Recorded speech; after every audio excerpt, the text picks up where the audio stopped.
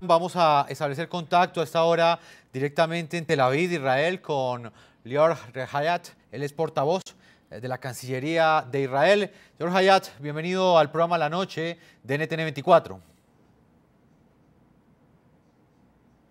Buenas noches a todos. Señor Hayat, eh, yo quiero preguntarles sobre el impacto que generó en Israel el lanzamiento de esta camiseta con un diseño que para muchos recuerda los uniformes que eran usados en los campos de concentración eh, de judíos eh, durante la Segunda Guerra Mundial. ¿Qué impacto ha tenido esto en Israel?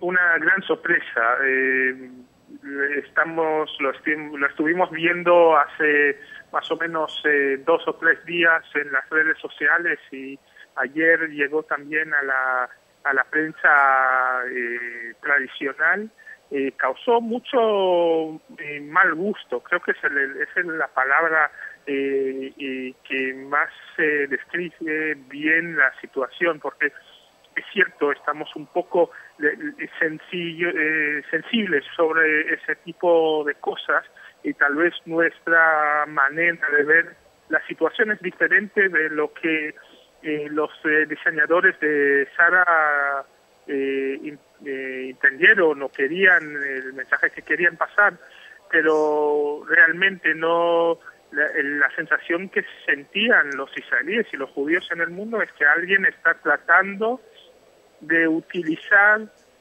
un, un, símbolo del holocausto en la Segunda Guerra Mundial, el holocausto judío, para eh, fines eh, comerciales o para fines de, eh, de publicidad. Y eso fue la sensación y creo que desde nuestro punto de vista el hecho de que los que Sara decidió a quitar ese, artículo, ese, esa camisa de sus tiendas, es un buen mensaje y creo que hay que dejarlo en eso. Señor Haya, usted está en el epicentro de la noticia. Eh, ¿Cree que el diseño de esta camiseta para niños fue un error o fue una provocación?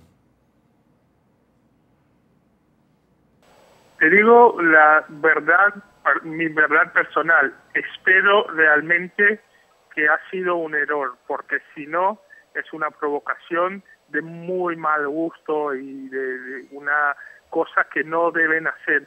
Y además creo que el, no le causó nada positivo a la marca Sara esa, ese error, porque eh, más allá de, su, de esa provocación, eh, creo que por lo menos desde el punto de vista de los compradores israelíes y judíos en el mundo no le genera ninguna ningún deseo de ir a comprar en esa tienda. Señor portavoz, eh, ¿qué tan concientizado está el mundo en este momento frente al holocausto judío, considerado como uno de los peores genocidios en la historia de la humanidad?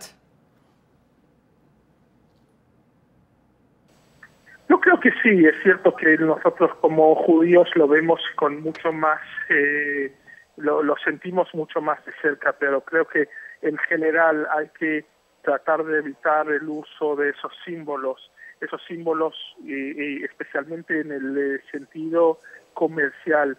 No hay nada comercial en la memoria del, eh, de los nazis, en la memoria del holocausto, y el que trata de utilizarlos para fines eh, comerciales creo que, que, está causando, haciendo un error terrible. Y, si me permiten en, en unos momentos en, tratar de explicarlo, uno de los de los ejes del, del pueblo judío es la memoria. Si, si algo eh, nos eh, une eh, como pueblo es esa memoria, memoria milenaria de, una historia común de nuestro pueblo desde las épocas bíblicas y de durante todos los años hasta, hasta nuestra época. Y cada uno de nosotros como judíos siente como si fuera un superviviente sobre, del holocausto y, tratamos de mandar de, mandar ese mensaje muy claro hacia el mundo de que eso no puede volver a ocurrir. El que utiliza esos símbolos trata de borrar parte de esa historia y por eso estamos somos tan sensibles para que no dejar eh, el mal uso de esos símbolos o de la comercialización de esos símbolos. Y a veces, y eso lo, lo tengo muy claro, a veces una cosa que parece para nosotros eh, una, el uso del símbolo del holocausto no es para otros. Y por eso creo que es muy importante el diálogo y es muy importante desde el punto de vista de la marca sana de entender la sensibilidad de los eh, del pueblo judío para que eh, sacarlo de las tiendas y creo que hay suficientes eh, diseños que se puede eh, utilizar sin ir hacia diseños que tiene un diálogo con símbolos nazis. Señor Hayat, Leor Hayat, portavoz de la Cancillería de Israel desde el epicentro de la noticia, gracias por habernos acompañado. Muchísimas gracias a todos y buenas noches. Jacqueline Shapiro, sigo con usted acá en sus estudios de NTN 24. ¿Cree usted que en el mundo hay suficiente eh, sensibilización frente al tratamiento que se le deben dar a este tipo de símbolos eh, que hacen parte de ese holocausto y que a la vez hacen parte de esa memoria que es tan importante para todos los judíos que sobrevivieron de ese holocausto? Yo creo que tú tocaste el punto exacto. Yo creo que para mí lo que pasó con Sara fue un error y fue precisamente por ese desconocimiento de la historia y ese desconocimiento del holocausto y de, y de la, el tocar eh, símbolos que tienen una connotación muy fuerte y, que se convierten en códigos dependiendo de la época y dependiendo del lugar. Hoy en día, por ejemplo, eh, usar una estrella David puede ser síntoma de orgullo y lo usó el rey David y el rey Salomón, pero en el contexto alemán y siendo ese color amarillo eh, que, que, tiene muchas interpretaciones, yo no soy experta en moda, pero para, para en la Edad Media cuando se empezaron a utilizar esos símbolos, eh, el amarillo era un color que denotaba traición, después finalmente para los nazis era un color que, hacía al judío un, blanco fácilmente eh, visual para ser atacado, para ser humillado, para ser degradado. Y mm, hay que tener en cuenta que cuando uno se viste y adapta eh, una moda a su cuerpo o, un accesorio o un tatuaje o un piercing, tiene que tener en cuenta que se vuelve parte también de, la forma que usted quiere dar a conocer su personalidad a, los demás. En cierta manera, la moda es un factor de identificación, de conquista personal y de ahí la responsabilidad que tiene cada uno de nosotros cuando escoge una prenda para, para, para ponérsela y expresar su identidad. Vamos a Londres nuevamente con Ambrosina Chitrit, ella es cofundadora de Yadatuk, una organización que presta ayuda a aquellos que han sido víctimas de antisemitismo. Em, quiero preguntarle, porque sé que pues eh, ya ah, eh, nos va a acompañar por, solo por pocos minutos más, exactamente existe o no existe la sensibilización adecuada eh, en este momento eh, frente a la importancia que tienen estos tipo, este tipo de símbolos. Eh, de pronto, pues como lo han manifestado algunos de nuestros invitados, eh, esta casa de moda que creó esta camiseta, muchos aseguran que lo hizo por ignorancia, no lo hizo voluntariamente, según ellos no lo hizo con fines comerciales, pero de alguna manera sí estos símbolos pues generan una molestia, uno de los temas que más le duele a Europa. ¿Cree usted que en este momento realmente existe esa sensibilización?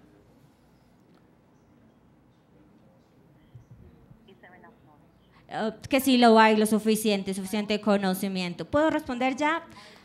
Bueno, yo creo que hay diferentes puntos de vista desde sus invitados, lo he visto. Creo que quien quiera que haya diseñado este artículo, este outfit, Creo que simplemente estaban tratando de manipular publicidad tal vez, no lo sé, no estoy segura, pero eso es lo que yo pienso.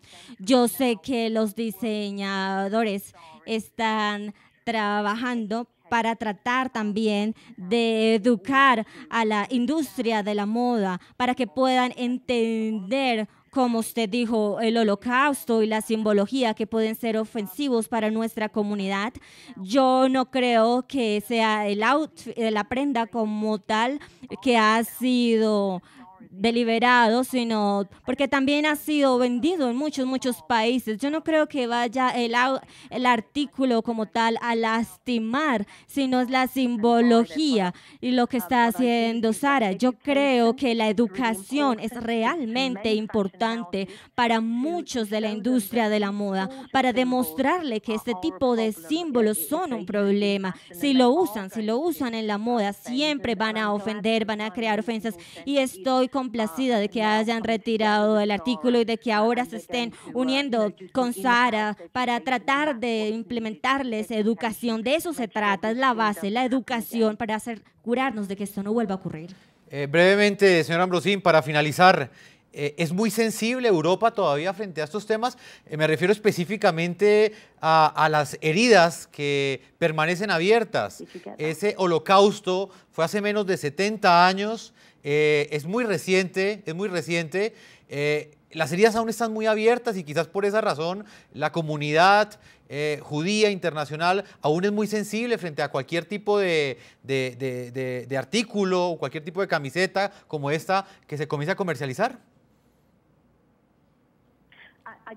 Yo no creo que la comunidad judía sea sobresensible, sino que lo que tenemos ahora es confrontar cualquier forma de antisemitismo, llegar al punto de ello cuando vemos algo como lo que hizo Sara, tenemos que actuar inmediatamente porque ahora tenemos medios sociales de donde tenemos la información muy rápidamente, creo que eso es algo muy bueno, tenemos gente por todo el mundo y cuando ven algo como esto, ellos definitivamente van a traerlo y van a protestar, como dije, pero esta prenda fue algo que estuvo por poco tiempo, pero hubo familias que las compraron para sus niños, tanto en Israel como también en el Reino Unido, porque la gente compra ropa para sus niños de Sara, así que es algo muy bueno de que nosotros ahora vamos a ver muy bien a estos artículos, no porque seamos muy sensibles, sino porque debemos quejarnos sobre este tipo de simbología y tenemos que pedir que salgan ya sea comida, ropa, lo que sea, no hace la diferencia.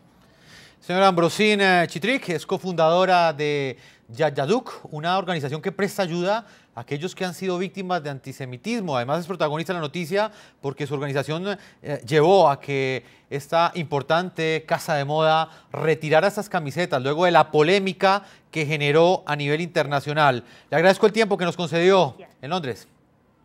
For your time. Gracias. A propósito del tema de hoy, le estamos preguntando a nuestros televidentes esa polémica por la venta de camisetas parecidas a las usadas por judíos en campos de concentración. ¿Error de interpretación o provocación? Son las opiniones que vamos a leer que nos han llegado a esta hora las cuentas de Twitter de nuestro equipo periodístico. A esta hora Gloria nos escribe que pues para ella son ambas cosas. Hoy en día, como está el mundo, hay que ser muy cuidadosos. Moisés Monzón nos dice que debe haber conciencia sobre el sufrimiento judío en otros tiempos, de ahí su defensa férrea. Son las opiniones de algunos de nuestros televidentes. Ustedes pueden seguir opinando a las cuentas del programa La Noche del equipo periodístico. Aparecen en la parte inferior de nuestra pantalla. Vamos a una primera pausa y ya regresamos a la segunda parte de este programa La Noche. Ya regresamos con La Noche.